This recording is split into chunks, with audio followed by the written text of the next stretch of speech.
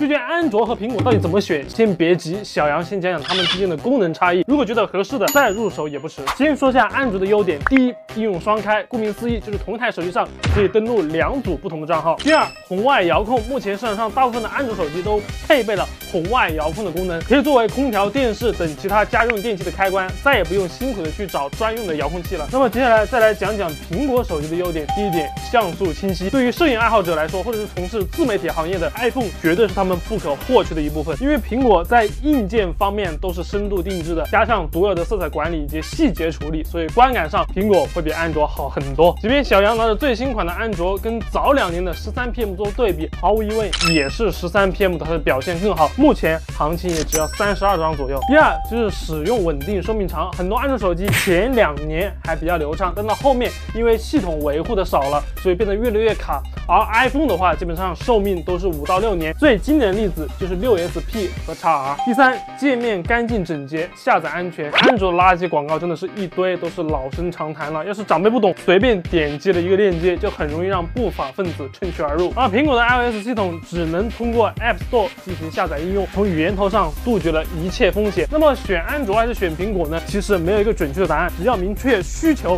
选择合适自己的就好。